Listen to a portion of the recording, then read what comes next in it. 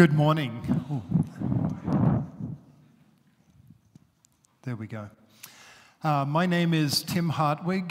Currently, I serve at Bethany Seminary in Mankato, Minnesota, the ELS seminary, and it's my pleasure to serve and lead you in worship this morning. With that, um, I am not familiar with the WELS chant tones, so I will not be singing the chant tones, but you are asked to sing in response. I figured it's better for me to read well than sing poorly, and so I'll read the, the lines, and if you can sing in response. May the Lord bless our worship. We begin with the first hymn.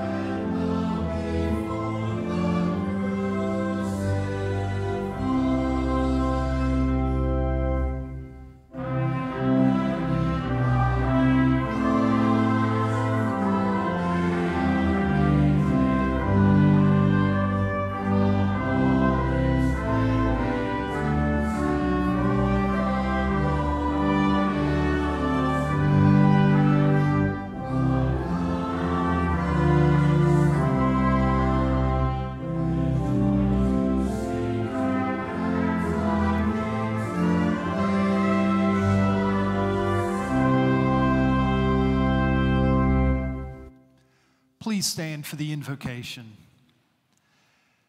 In the name of the Father, and of the Son, and of the Holy Spirit, Amen. If we claim to be without sin, we deceive ourselves, and the truth is not in us. If we confess our sins, God is faithful and just, and will forgive us our sins and purify us from all unrighteousness. Let us confess our sins to the Lord. Holy God, gracious Father, I am sinful by nature, and have sinned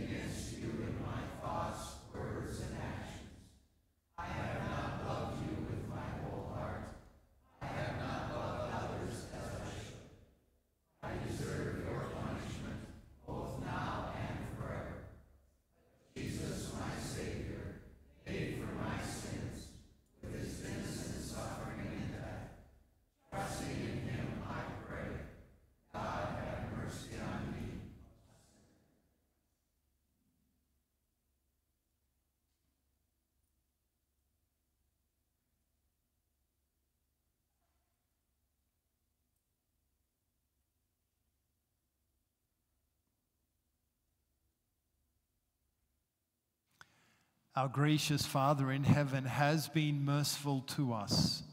He sent his only Son, Jesus Christ, who gave his life as the atoning sacrifice for the sins of the whole world. Therefore, as a called servant of Christ and by his authority, I forgive you all your sins in the name of the Father and of the Son and of the Holy Spirit. Amen.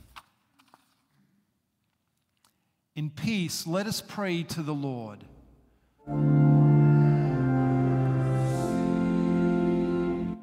For the peace from above and for our salvation, let us pray to the Lord.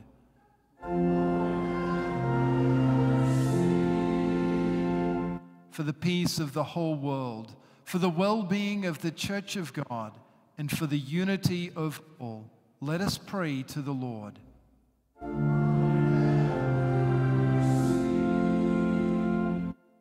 For this holy house and for all who offer here their worship and praise, let us pray to the Lord.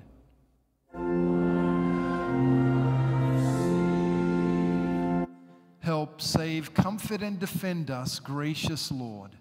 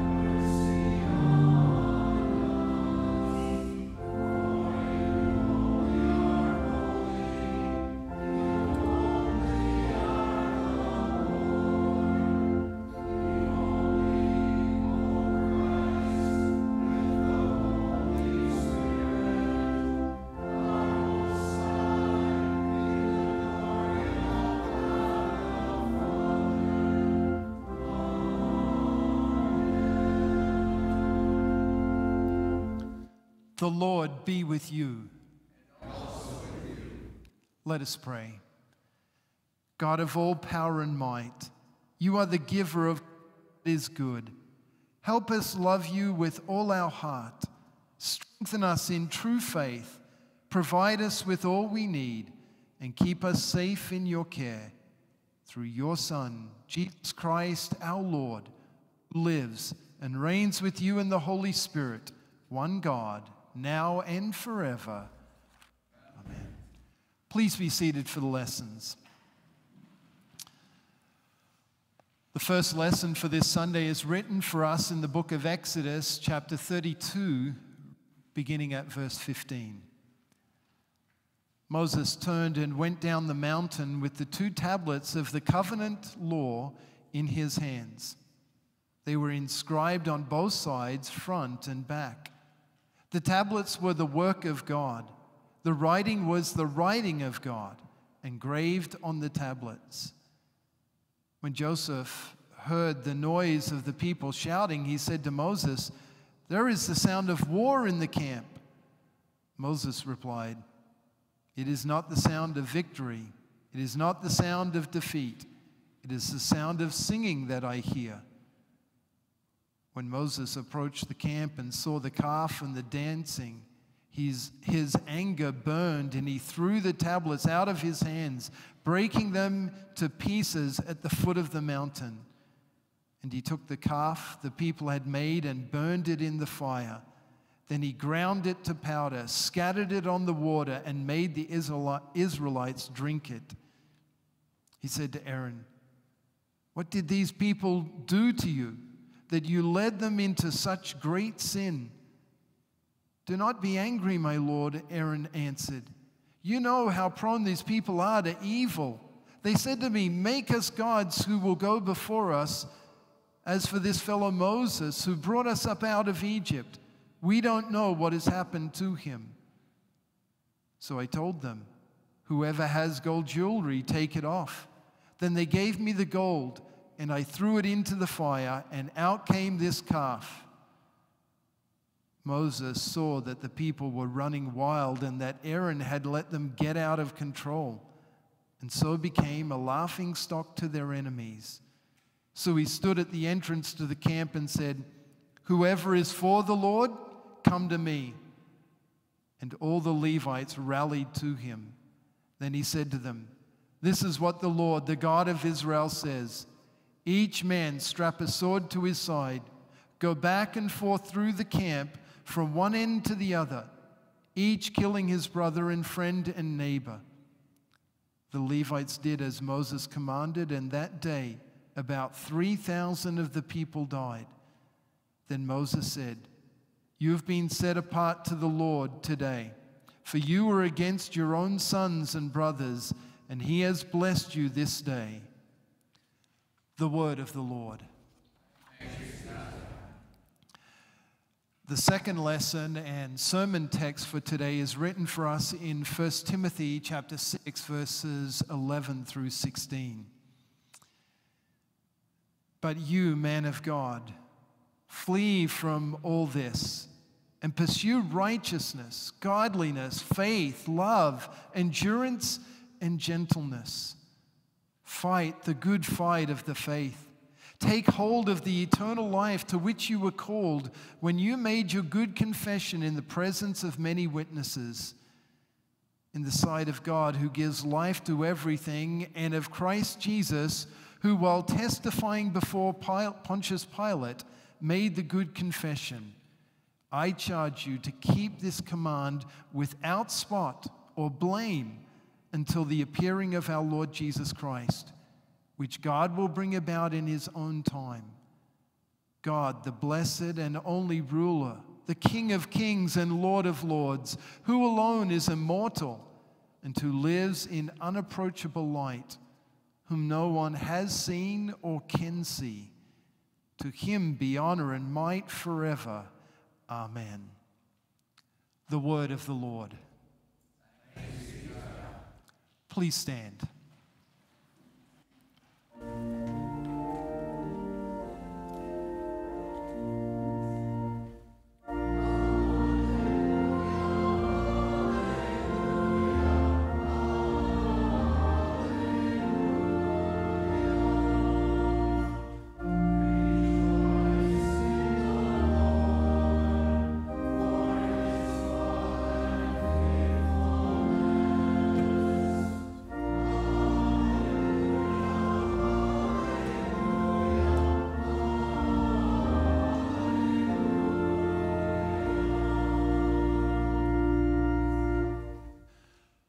Gospel for this Sunday is written for us in St. Matthew chapter 10, beginning at the 34th verse. Do not suppose that I've come to bring peace to the earth. I did not come to bring peace, but a sword. For I have come to turn a man against his father, a daughter against her mother, a daughter in law against her mother in law. A man's enemies will be the members of his own household. Anyone who loves their father or mother more than me is not worthy of me. Anyone who loves their son or daughter more than me is not worthy of me. Whoever does not take up their cross and follow me is not worthy of me. Whoever finds their life will lose it, and whoever loses their life for my sake will find it. Anyone who welcomes you welcomes me. And anyone who welcomes me welcomes the one who sent me. Whoever welcomes a prophet as a prophet will receive a prophet's reward. And whoever welcomes a righteous person as a righteous person will receive a righteous person's reward. And if anyone gives even a cup of cold water to one of these little ones who is my disciple, truly I tell you, that person will certainly not lose their reward. The Gospel of the Lord. Praise be to you, O Christ. Please be seated.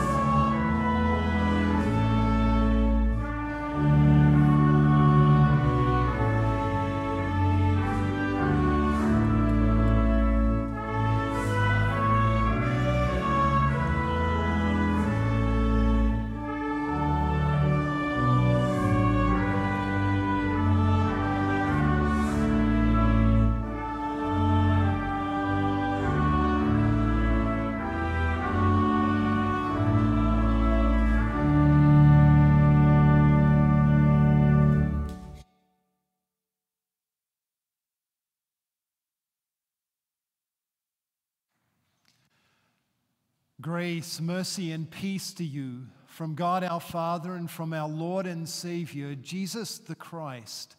Amen. The text for our meditation this morning is the epistle lesson, 1 Timothy chapter 6, verses 11 through 16. And we read these words again in the name of our Lord. But you, men of God, flee from all this and pursue righteousness, godliness, faith, love, endurance, and gentleness. Fight the good fight of the faith.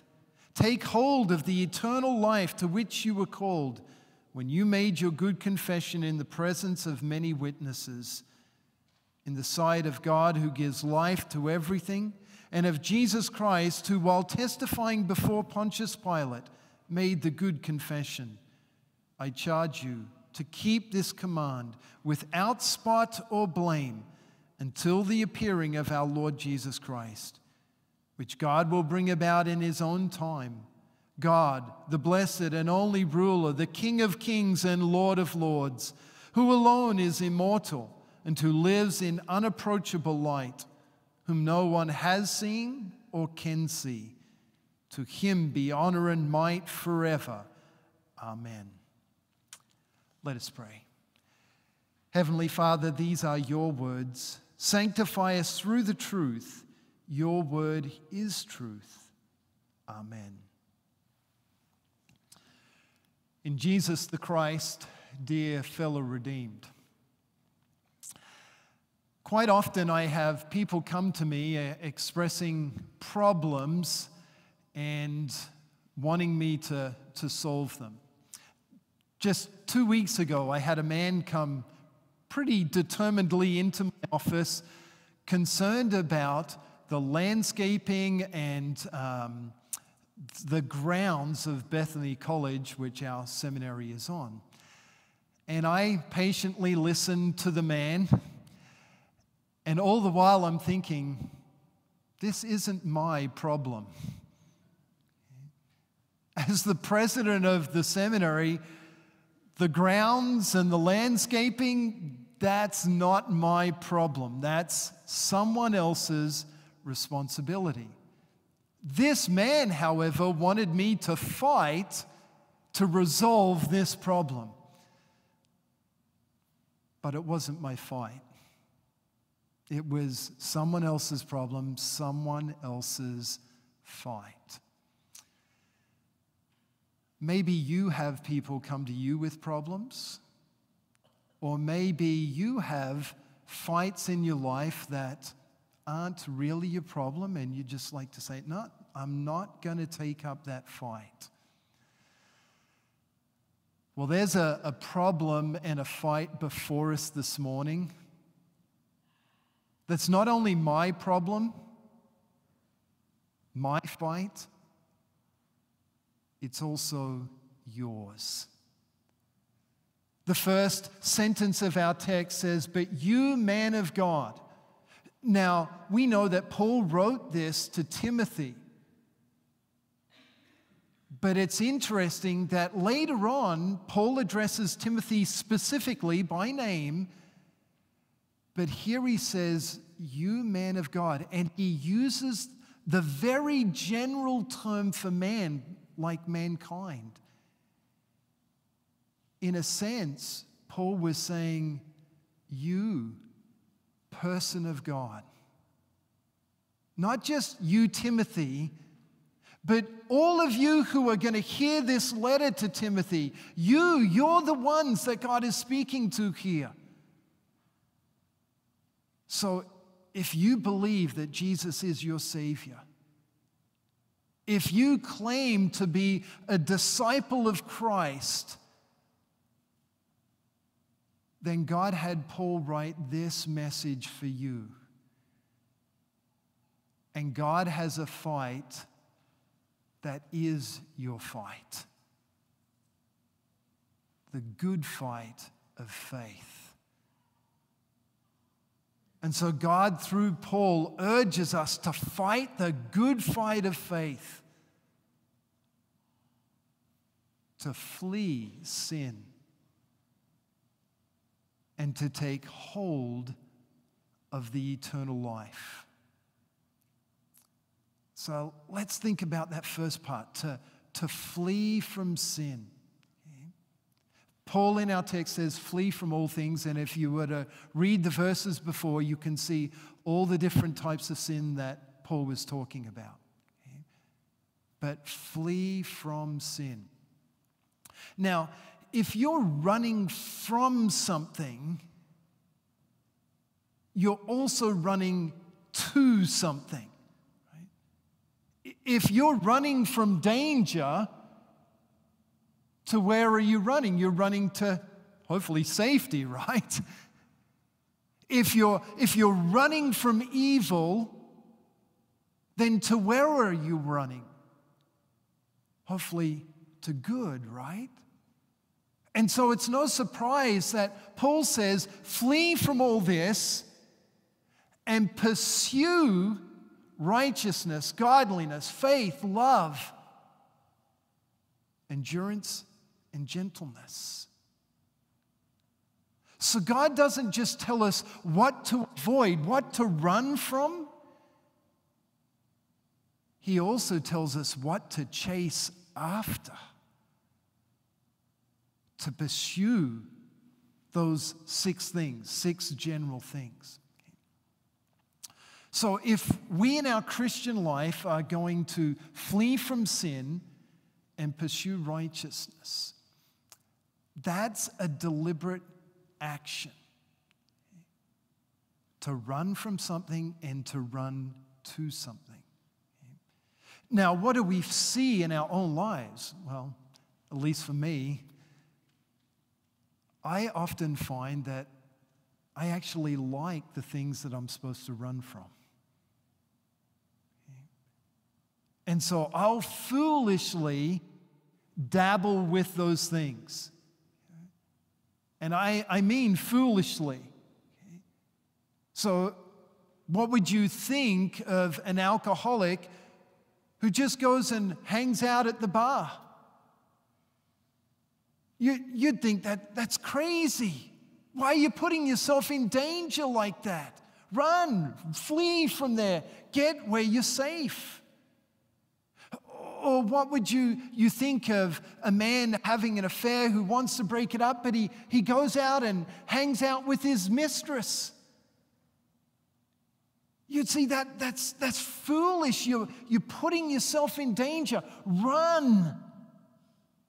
Run from those things. Run from that sin and pursue righteousness, godliness, faith, love, endurance, and gentleness. So God wants us to leave bes- behind those things and to pursue His will for our lives. Now, it's, it's interesting that the word repent, even though it's not mentioned here, the image of it is.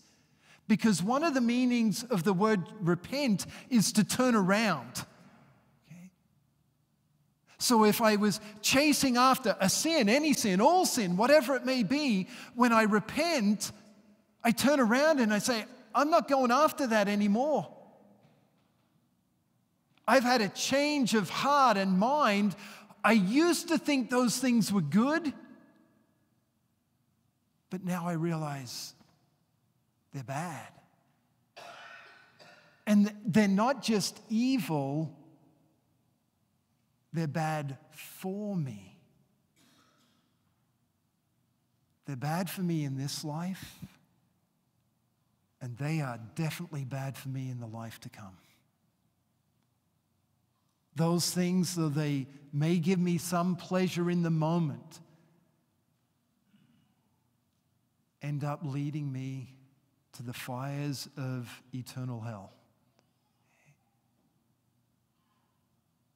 So the point of that is this, this fleeing from these things and pursuing these things is a matter of life and death. If you're in a burning house, how hard would anyone have to convince you to run from the house? It's obvious, right? You stay in the house, you die. You'd flee from it and get to safety. Your sin is a burning house. And God calls you to flee from it, to run from it, and run to righteousness.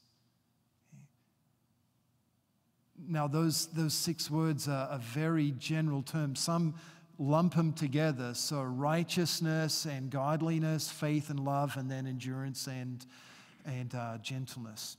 And there certainly is some connection there. But let's just take some time to think about the first two righteousness and godliness.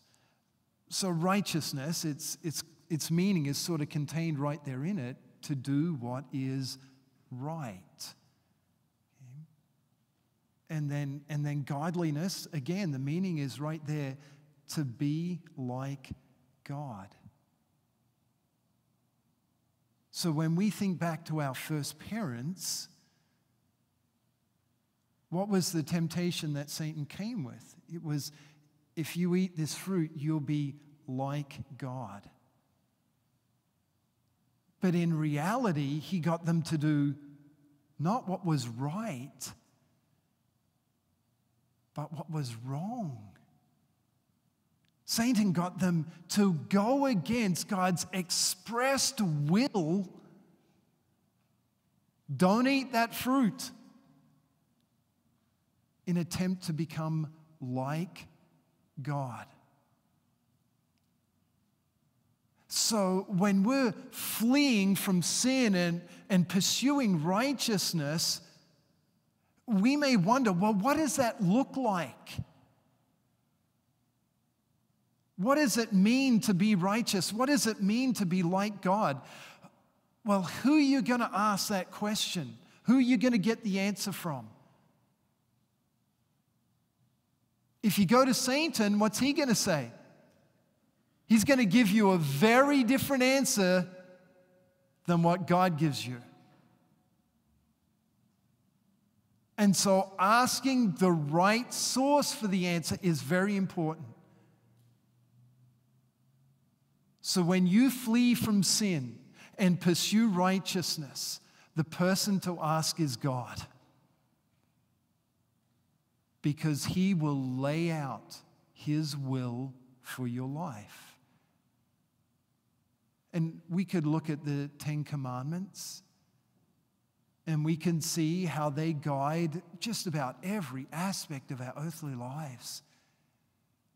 If, if you want to know how God wants you to live, God is the one to ask. And He's not always going to tell you what you want to hear. And that can be tough. Because often we want to go along with God so just so far as He agrees with us or that we think it's a good choice. But we're to submit to the will of God for every aspect of our life, to pursue righteousness.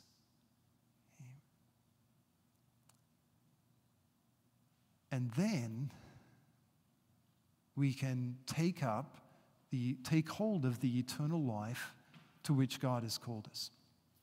So, here's where we need to be very careful.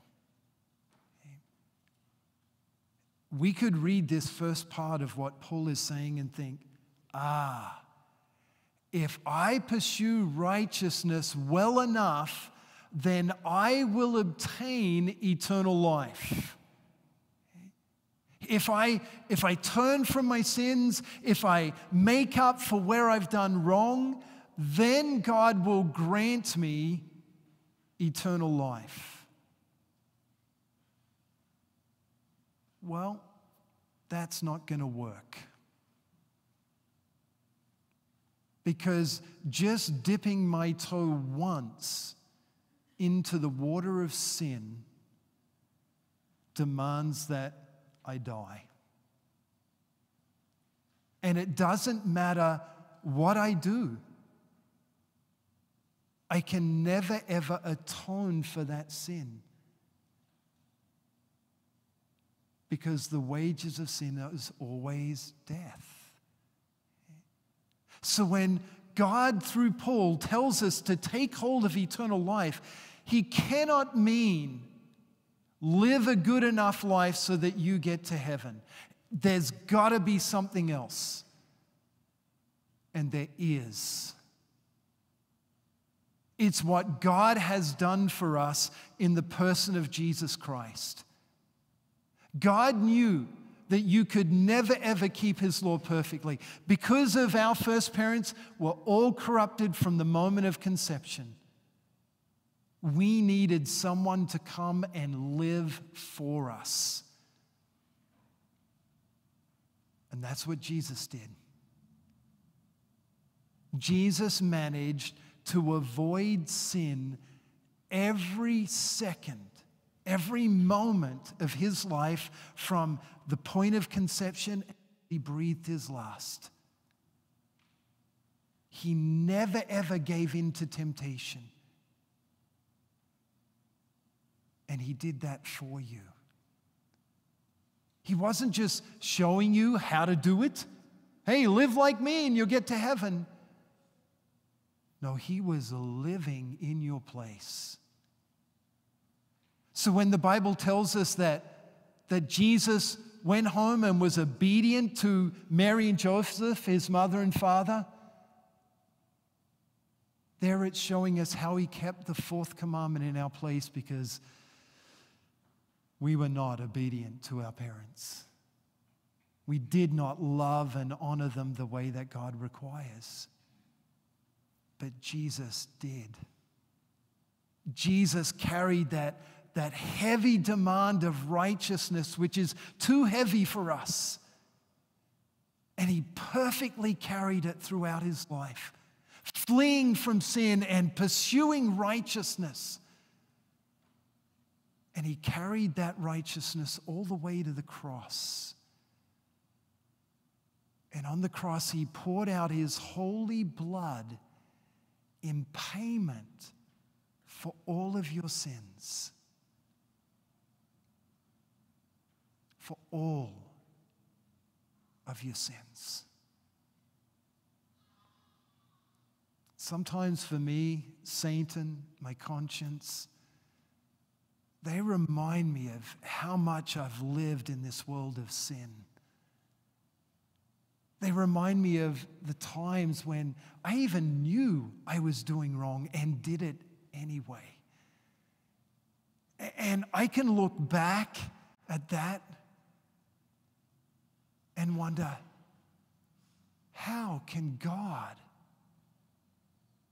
save someone like me? How can a holy, righteous God look at me and say, I love you? Why would a holy, righteous God want me to be with him for any time, let alone eternity? How is this possible? Well, when I'm looking back at my guilt like that, and I'm searching for assurance of eternal life, I'm looking in the wrong place. I'm looking at the wrong person. I need to look at Jesus. He's the one that lived the life that the Father desires. He's the one that has made full satisfaction for all of my sins. He's the one that through his life and death has earned for me and for you and for all people eternal life. He's the one that we're to be looking at. And so when Paul urges Timothy to take hold of eternal life, he was urging him to take hold of Jesus and to never let him go. So, how do we do that? Where do we find Jesus to hold on to him? maybe it'd even be better to say to be held by Jesus. Where do we find him? We find him in his word.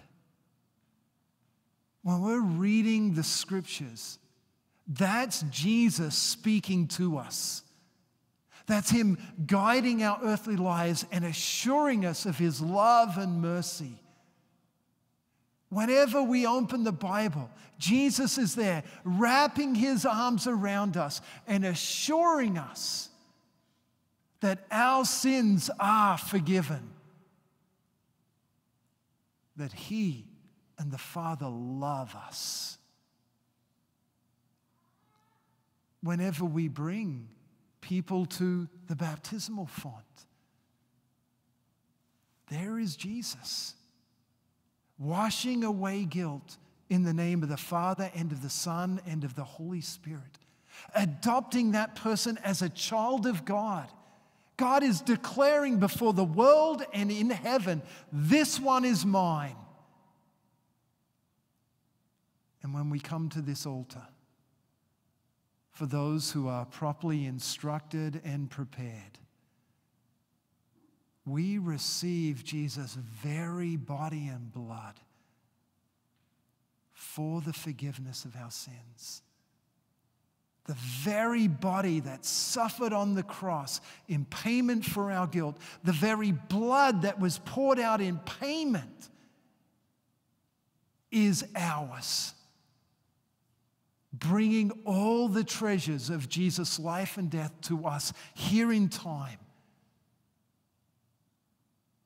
through that blessed sacrament. Jesus is personally declaring to all who receive it Your sins are forgiven. I love you. Eternal life is yours. So take hold. Be in the Word. Receive the sacrament when you are well prepared and well trained and then you will be fully equipped to fight the good fight of faith. So, this is our problem. It's our fight, it's, it's your fight. You can't set this aside. To be a Christian means that you're at war. At war with sin, death, and the devil. May God grant you His Spirit through His word and sacraments, that He would empower you to take up this fight, to flee from sin and to pursue righteousness, and to take hold of the eternal life that Jesus has won for us all. To Him be the glory, now and forever. Amen. And now may the peace of God, which transcends all understanding, Guard and keep your hearts and minds through faith in Christ Jesus until life everlasting. Amen. Please stand as we uh, confess our faith with the words of the Nicene Creed.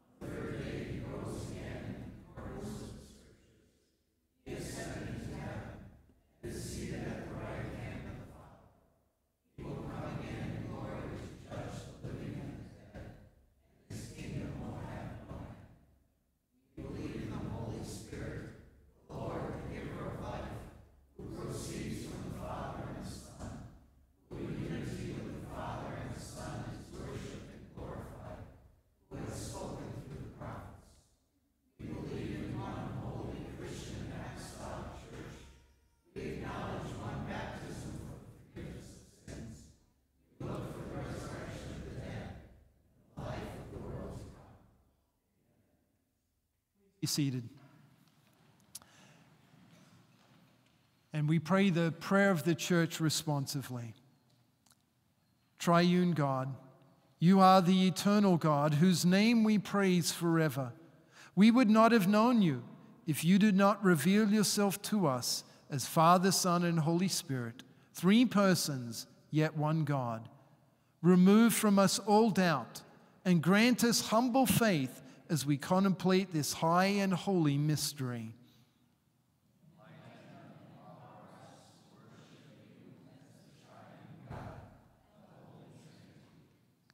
God our Father, whatever is good is in us, excuse me, whatever good is in us, whatever good things we have, and whatever good we do comes from you alone. In you we live and move and have our being. Open our eyes to see the gifts you provide every day purely out of your own love and care. Lord Jesus, our Savior, you came into our world to make the Father known to us. You joined yourself to us by taking on our humanity and brought us back to God by shedding your blood. In love, you walked the way of suffering and carried the wrath of God that we deserved because of our sins. Help us believe that all you did and all you endured, you did to rescue us and set us free. In bright hope of the resurrection.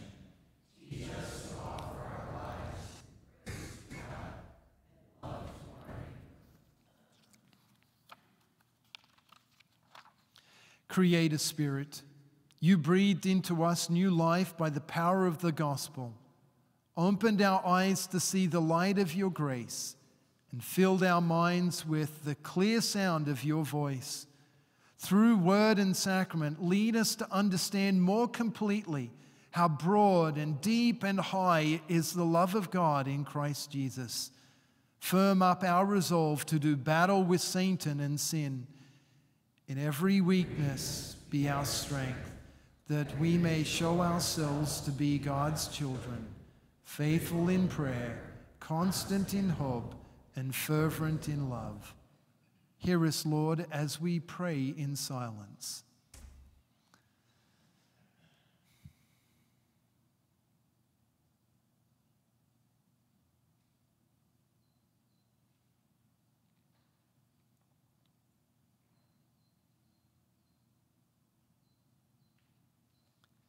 Holy Trinity, you are the God of glory, the God of grace, and the God of all comfort. We rejoice to call you Father, Son, and Holy Spirit, and praise your holy name forever. Amen. Almighty God, ruler of all, we praise you for your grace that has freed us from sin, death, and hell. As Independence Day nears, we also express our sincere thanks to you for the additional blessing of freedom that we enjoy as citizens of this nation. Let us never abuse the freedoms you have given us by engaging in loveless speech or lawless behavior. Instead, help us make the most of the freedoms we enjoy by strengthening us to serve God and country, family and neighbor. Amen.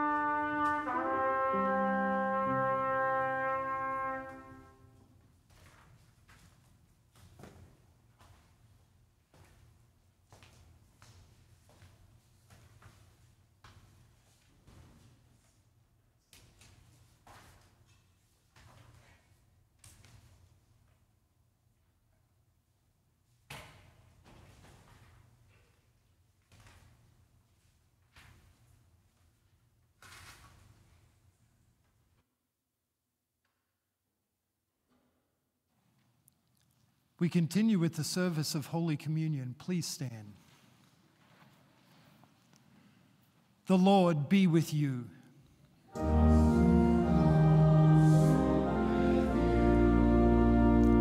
Lift up your hearts.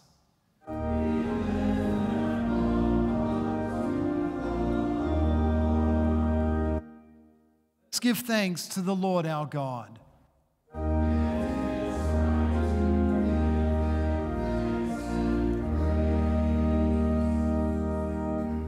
It is truly good and right that we should at all times and in all places give you thanks, O Lord, Holy Father, Almighty and everlasting God, through Jesus Christ our Lord, who promised that wherever two or three come together in his name, there he is with them to shepherd his flock until he comes again in glory.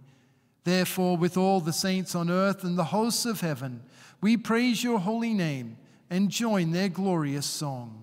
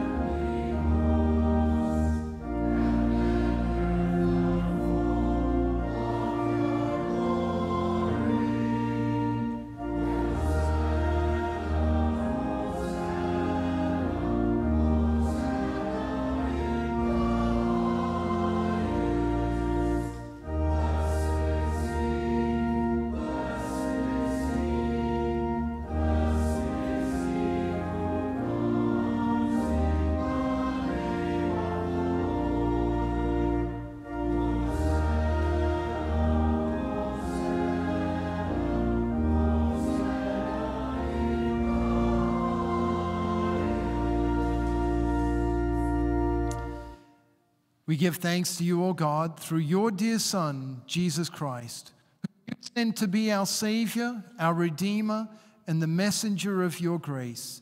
Through him you made all things. In him you are well pleased. He is the incarnate Word, conceived by the Holy Spirit and born of the Virgin Mary. To fulfill your promises, he stretched out his hand on the cross and released from eternal death all who believe in you. As we remember Jesus' death and resurrection, we thank you that you have gathered us together to receive your Son's body and blood.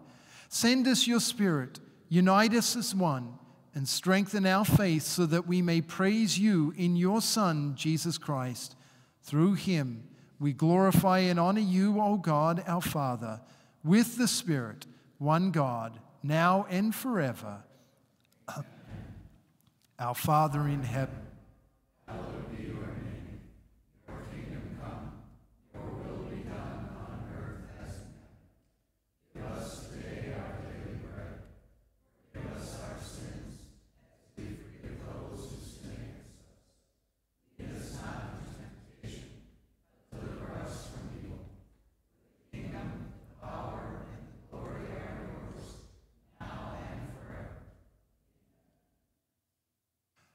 Our Lord Jesus Christ, the same night in which he was betrayed, took bread, and when he had given thanks, he broke it and gave it to his disciples, saying, Take and eat.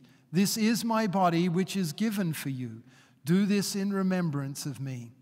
In the same way, after supper, he took the cup, gave thanks, and gave it to them, saying, Drink of it, all of you. This cup is the New Testament in my blood, which is shed for you and for many for the remission of sins. Do this as often as you drink it in remembrance of me. The peace of the Lord be with you always. Amen.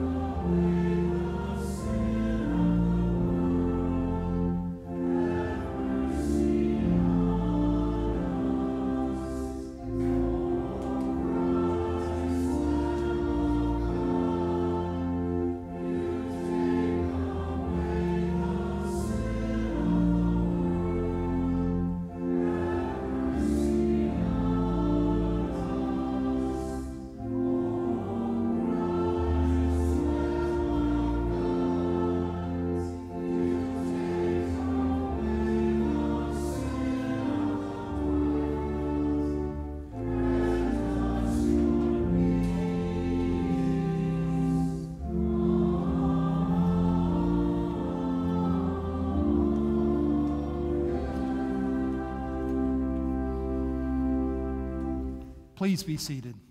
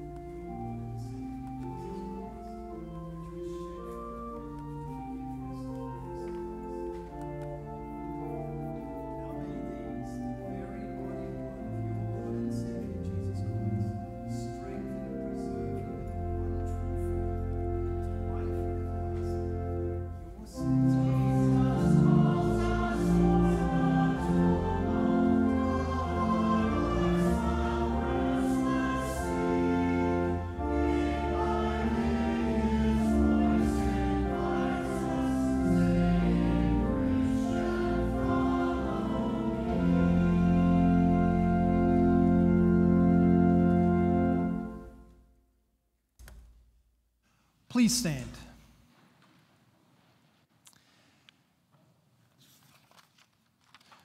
We give thanks to you, Lord, for he, excuse me. We give thanks to the Lord for he is good. Whenever we eat this bread and drink this cup, we proclaim the Lord's death until he comes. We give thanks, Almighty God, that you have refreshed us with this saving gift. We pray that through it you will strengthen our faith in you and increase our love for one another we ask this in the name of Jesus Christ our Lord, who lives and reigns with you in the Holy Spirit, one God, now and forever. Amen. The Lord bless you and keep you. The Lord make his face shine upon you and be gracious unto you. The Lord look on you with favor and give you peace. Amen. Please be seated.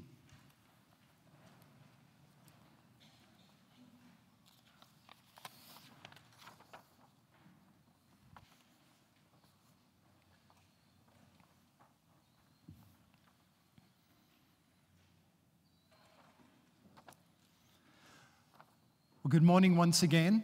I have a couple of announcements that have been asked to read, and um, they are that the office will be closed July 3rd and 4th, and then that Pastor Dan will be on vacation until July 5th. If you need pastoral assistance, please contact Pastor Ben or Pastor Matt at North Cross. And then the last one is please greet those around you. Um, so, uh, thank you for the privilege of leading you in worship today. As I said at the beginning, my name is Tim Hartwig.